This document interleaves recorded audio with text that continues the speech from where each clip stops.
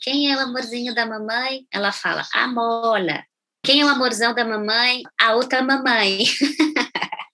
O último censo do IBGE detectou 60 mil famílias homoafetivas pelo Brasil. A maioria, 53,8%, é formada por mulheres. Independentemente do quanto já tenhamos avançado em certos debates a respeito dos papéis sociais impostos para homens e mulheres, em um país machista e patriarcal como o nosso, a concepção de família ainda está ligada às figuras do pai, mãe e filhos. Ou seja, a família só é família se for a tradicional. Assim, excluem-se as famílias homoafetivas, as mães solo, os avós que criam seus netos e diversas outras configurações familiares possíveis. Neste episódio, eu fui ao portão de duas famílias que vivem em uma maternidade dupla. Você vai conhecer as histórias da Mariana Lemos, casada com a Gabriela Souza, e da Sibeli Lima, esposa da Fabiana Carvalho. Vamos?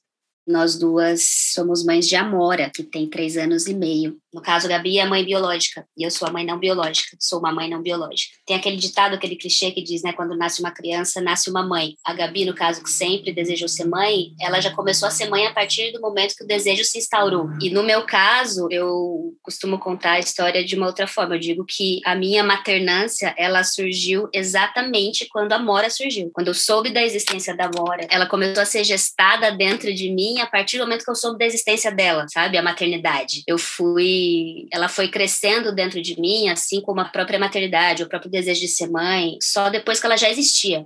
Eu sou Sibeli Lima, sou casada com a Fabi. Nós temos três filhos. Duas crianças do meu primeiro relacionamento e ela tem um filho do primeiro relacionamento dela. Nossos filhos, eles têm a mais velha, a Anitta, tem 15 anos. O Nick, tem, que é o Nicolas, tem 11 anos. E o Sam, que é o Samuel, tem 8 anos já morando juntas uns dois anos e meio. Foi pouco depois que a gente começou o nosso relacionamento e que nós moramos juntas. Nós temos união estável. As nossas crianças, elas convivem muito bem e entenderam muito bem o nosso relacionamento, mesmo tendo entrado nele depois, né? Diferente de um casal de mulheres que adotam uma criança, né, ou que tem a gestação, nós já viemos com nossos filhos para o nosso relacionamento.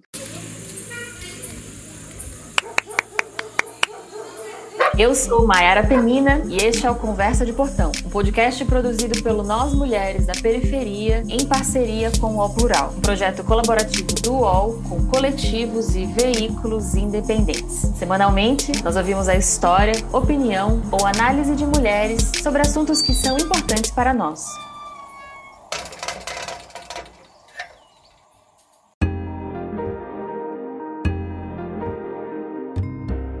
Eu pedi para Mari e para Cibele começarem me contando como se deu a maternidade em suas vidas e como o mundo vê a maternidade delas. A partir da minha vivência como uma mãe não biológica, eu acho que tem muitas coisas é, relacionadas, muitas batalhas relacionadas a ser respeitada nesse lugar de mãe de Amora, porque eu sinto dessa forma, a Amora sente dessa forma, eu entendo e ela como minha filha e ela também se entende como minha filha e eu como mãe dela. Mas existe na sociedade, né, seja nas relações pessoais, seja nas relações institucionais, aquela ideia da, entre aspas, mãe de verdade, sabe? Tipo, quem é a mãe de verdade de Amora? Eu até entendo quando as pessoas usam esse termo, porque eu acho que que elas querem dizer é a mãe não biológica e a mãe biológica, mas eu acho que a própria ideia de mãe de verdade já mostra muito como as instituições, principalmente, enxergam esse modelo de família. Eu entendo em algum lugar a necessidade de algumas dessas perguntas, sabe? Mas eu acho que elas poderiam ser feitas de uma forma não excludente, sabe? De uma forma que não fizesse aquela mãe é, se sentir mal, né? Ou deslocada do seu papel de mãe, do seu lugar de mãe, sabe? Então, esse é um exemplo de como eu eu acho que uma das batalhas é ser respeitada como mãe, sendo uma mãe não biológica. É, socialmente eu acho que é o maior problema, né? Socialmente, algumas amigas da minha filha mais velha, as mães não querem, contato. Então, não é de, uma, de um modo grosseiro, mas é de um jeito sutil. No começo a gente não dava os porquês, mas depois, com o tempo, a gente foi conversando. Olha, filho, você tem duas mães, as pessoas não aceitam, a sociedade não aceita isso com naturalidade. Infelizmente, a gente está lutando para que isso aconteça e isso vai afastar algumas pessoas de você. Então, com o tempo, eles foram entendendo e a gente tem mais uma, um, porém na nossa família, que é, fica mais difícil ainda para a sociedade aceitar, é que o meu filho, que ele é um menino trans. Então, Até essa construção do nosso relacionamento foi bom para que ele tivesse um espaço para ser quem ele é de verdade, né? Ele era uma criança super tímida, não falava com ninguém, era até meio mal educado, não tinha participação na escola, embora tivesse boas notas, não era uma criança que respondia pergunta, que queria ir no passeio, nada disso. E aí, quando ele falou pra gente que a identidade dele era masculina, e a gente começou a trabalhar em cima disso, né? Levar na, nos locais especializados para que ele pudesse ter o atendimento adequado. Hoje ele é uma outra criança. O Nicolas é um menino que se comunica com todo mundo, fala da história de vida dele para quem quiser. Então, assim, a nossa família, até brinco que eu falo que ela é diversa. A nossa família, nós temos um menino negro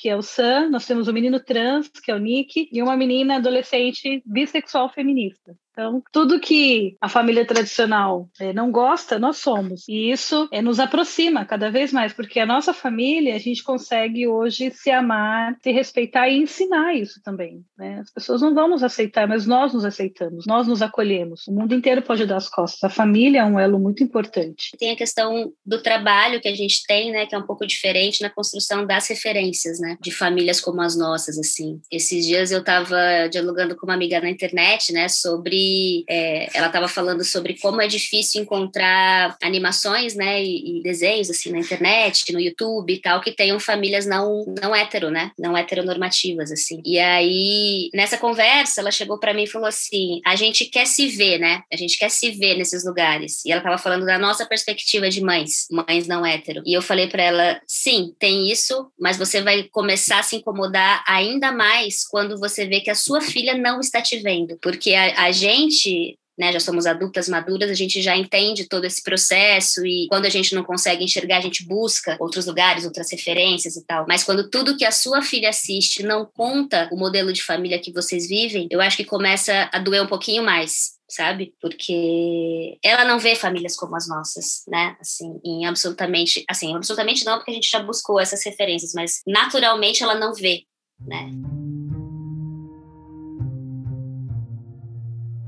Sibeli e Mari entenderam desde cedo que sua maternância seria rodeada de batalhas, mas também que a luta faz parte do movimento. Queridas, como que vocês veem os avanços que a gente está conseguindo nos debates e na garantia dos direitos sobre esse tema? Hoje a gente se enxerga como um casal que tem a maternidade lésbica como privilegiada, tanto por ter essa aceitação dos nossos filhos, que é o mais importante para gente, e também por conseguir nos posicionar, né? Mas a gente sabe que está muito longe ainda, a gente vê muito preconceito, as mulheres ralando muito ainda para mostrar que são competentes, são qualificados para terem suas crias e trabalhar e se desenvolver, independente da orientação sexual. Fica aí uma dica, né, para que as empresas se atentem a isso, né? A gente precisa ter condições de escolher até plano de saúde e também mais acessível, né? Tudo é muito caro. Então, se você pensar na trajetória de uma mulher lésbica que tem a sua companheira, aí ela já tem a dificuldade de aceitação da sociedade, tem a dificuldade de inclusão no mercado de trabalho que pague bem pela sua profissão, tem a dificuldade de encontrar uma inseminação artificial que faça sentido para sua história. Como é que ela vai arcar com um custo muito alto disso, né? Como que você vai realizar o sonho de ser mãe se você não tiver as condições básicas para chegar lá? Então, acho que é nesse sentido que a gente tem que continuar é, discutindo,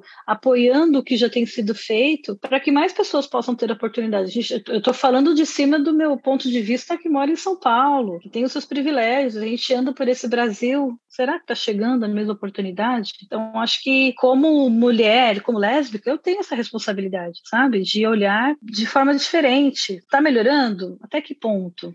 Então, eu acho que cresceu bastante assim a possibilidade de discutir esses temas, de falar sobre essas questões, mas eu acho que os direitos não evoluíram na mesma velocidade da visibilidade, né? Mas acho que isso também não é exclusividade dos movimentos lésbicos, né? Acho que todos os movimentos marginalizados, socialmente, a visibilidade vem antes das outras coisas. Então, ainda é muito trabalhoso, ainda é uma batalha muito dura. As questões burocráticas, né, em relação à organização social, institucional dessas famílias filhos. Então, acho que no que diz respeito à, à inseminação especificamente, né? A, não inseminação, mas é, como ter filhos, né? Como essas, essas mulheres se amam, elas querem construir uma família, elas querem ter filhos, né? Como fazer isso? Acho que o acesso a essa informação ele é um pouco melhor hoje, mas ainda não é bom, né? Primeiro que para aquelas que desejam inseminar, o processo é muito caro. É pouco difundida as informações das possibilidades de fazer isso pelo SUS que existem, né? Eu acho que não é uma informação que circula fácil, assim.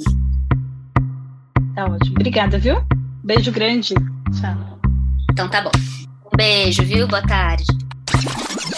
Calma, calma, que o papo, você sabe, nunca se encerra aqui quando você tira o fone. A Mariana me contou sobre a inseminação e outros métodos pelo SUS e eu fui investigar as possibilidades de ser mãe com reprodução assistida, adoção, doador amigo, coparentalidade e outras tantas saídas e combinações. Aí eu deixei lá no site nósmulheresdaperiferia.com.br um textão te explicando tudo e você pode ler e mandar para as amigas. Agora sim, tchau e até logo.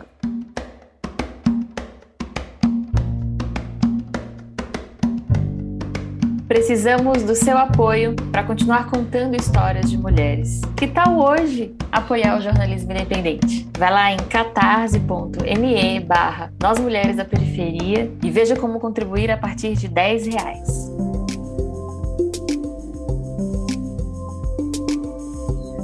Eu sou Mayara Penina e este foi o Conversa de Portão podcast produzido pelo Nós Mulheres da Periferia, em parceria com o O Plural, um projeto colaborativo do UOL com coletivos e veículos independentes. Semanalmente, nós ouvimos a história, opinião ou análise de mulheres sobre assuntos que são importantes para nós. Você pode ouvir a gente no Spotify, Deezer, Google Podcasts e pro WhatsApp. É só se cadastrar na nossa lista de transmissão. Eu fiz a reportagem e o roteiro deste episódio. A Carol Moreno fez a produção. A identidade sonora e a edição é de Trilhará. Hoje eu fico por aqui e até a nossa próxima conversa de portão.